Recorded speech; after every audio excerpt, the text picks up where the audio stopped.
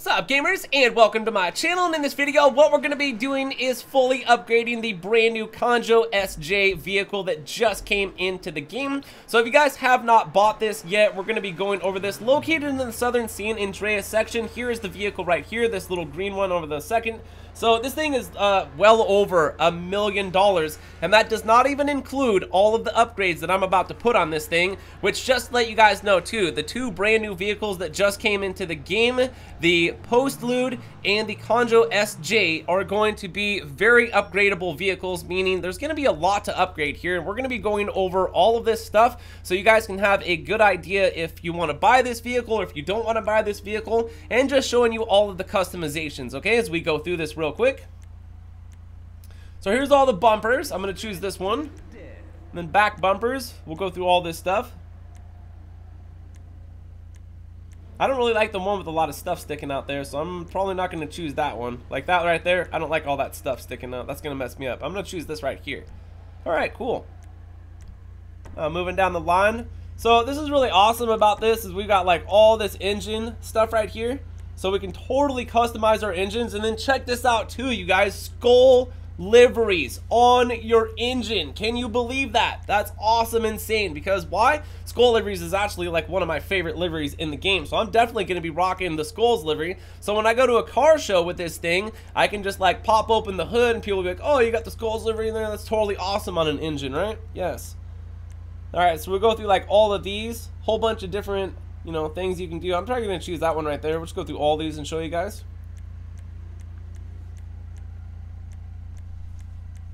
Lot of different stuff to choose from here for the engines and how you want your engine to look.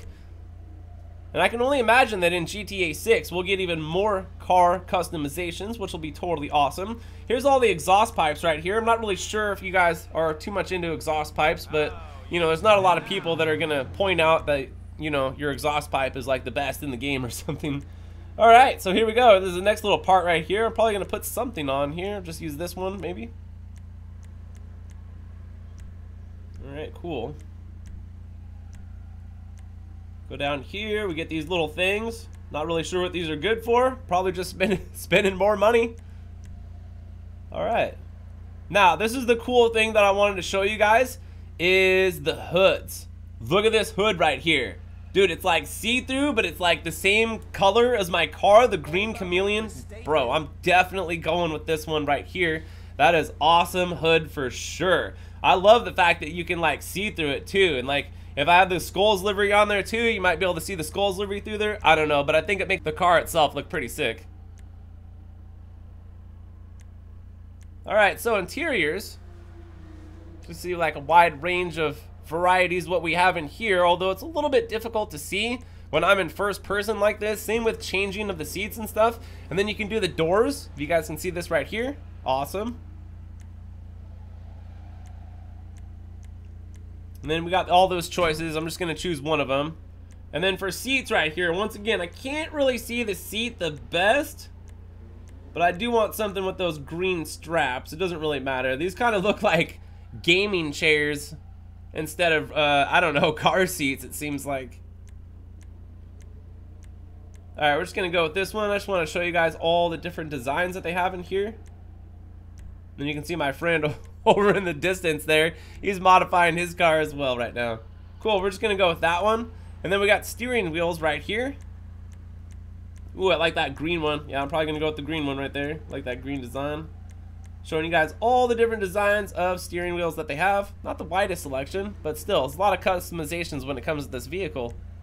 Moving down the line. I'm going to show you like all this stuff right here. All right, liveries. Here we go. Yeah, showing you all the liveries here. So that's basically about it for liveries. I like these waves right here too. I think those are pretty cool. And they have the white ones too. And they have this. I'll probably just go with this maybe. I don't know. It looks like it's like scuffed up or cut up or something like that. I just wanted to show you guys all of the liveries for this.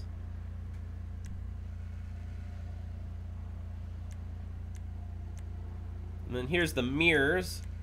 Got to get yourself a good mirror. Even though rear, mirrors don't even work in the game on your car. Not even the next generation, but here we go. We're just going through this and showing you guys all this stuff here. So I definitely want to go with the roll cage, probably, you know? Don't know if you're going to be rolling your car, but most likely you will be. Alright, let's go for the little back thing right here. Ooh, I like that one. Yeah, I'm going to go with that one. You get a little bit of extra armor protection when you guys put this on right here, too. You know, just a little bit. So just in case. Oh, sunroof. Here we go. No, I like the sunroof. I want the sunroof. Oh, we go with a rack right here. We go with like a rack on there.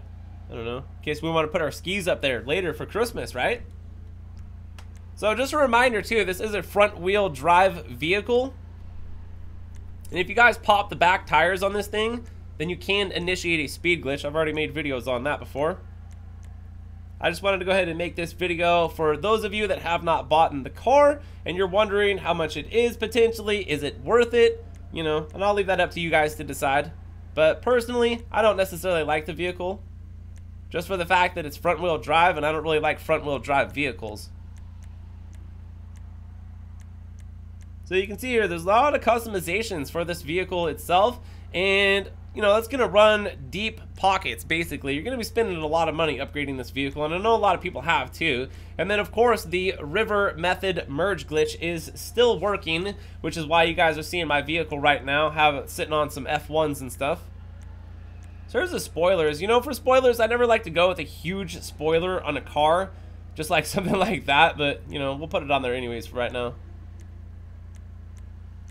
It depends on what type of car the spoiler is on, I would, I would have to say, for what type of spoiler that it deserves. But, you know, once again, spoilers do nothing for our vehicles in performance, you know, and technically a spoiler would be put on a vehicle to ground it for going so fast that it would, like, lift up the air. So here we go, you guys. Fully upgraded Kanjo SJ chilling right here. This thing is, uh, well, it cost me probably a couple million dollars now that I have just upgraded.